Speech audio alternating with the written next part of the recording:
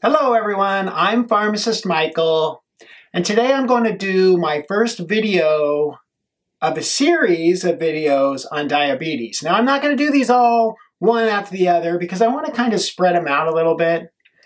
But today's video is about early signs that you have diabetes. Do you think that you may have diabetes? Before we explore the early symptoms of type 2 diabetes, let's talk about the risk factors. Number one, having prediabetes. This just means that your blood sugar levels are above normal, but they're not quite high enough to be classified as diabetes yet. Patients may have prediabetes for a long period of time without knowing. But if lifestyle changes, including exercise and eating habits, aren't improved, prediabetes can lead to a type 2 diabetes diagnosis. Number two, being 45 years of age or older. We can't help this, right? Older individuals have a higher risk of developing diabetes. Number three, being overweight. Most of us know this one. The more excess weight you have, the more resistant your muscle and tissue cells become to insulin that's produced in your body. Number four, not getting enough exercise. Being active makes your body more sensitive to insulin, which helps to control blood sugar levels. Number five, having family members with diabetes. There is a genetic link to this disease. Number six is not eating a balanced, healthy diet. Too many sweets, sugary foods, and foods with a high glycemic index can increase your risk of diabetes. Number seven is having other conditions such as polycystic ovary syndrome, gestational diabetes, heart disease, or stroke. Whether you have these risk factors or not, you still may end up with diabetes.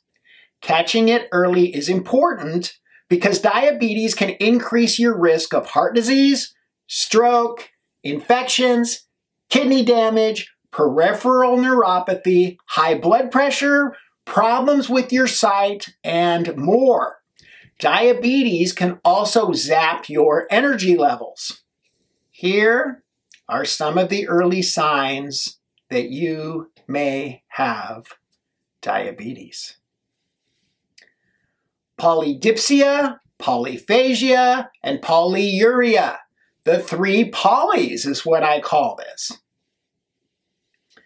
Polydipsia is abnormally great thirst as a symptom of a disease such as diabetes.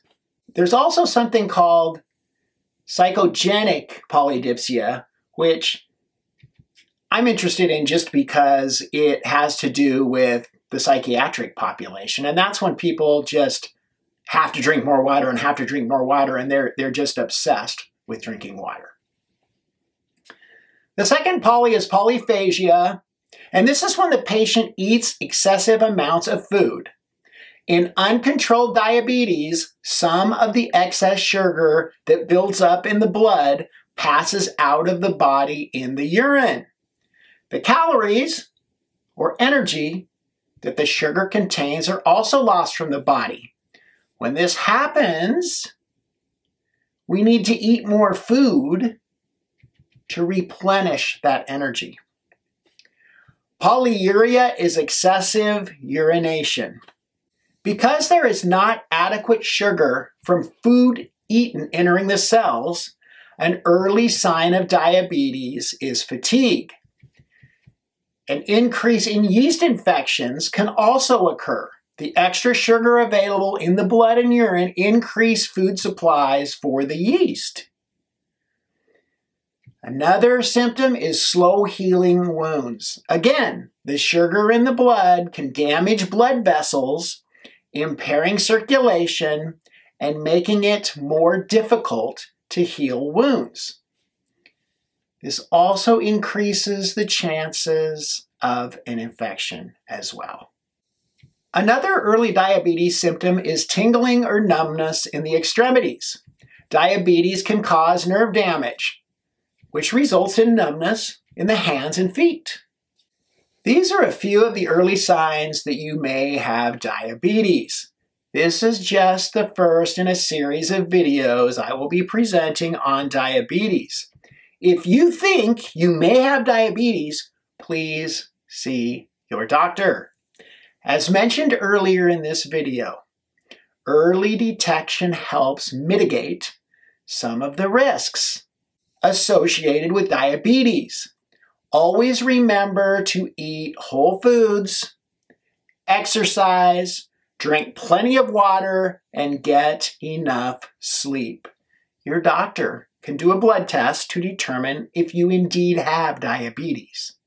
If you know anyone who may have some of these symptoms or would enjoy this video, please send it to them.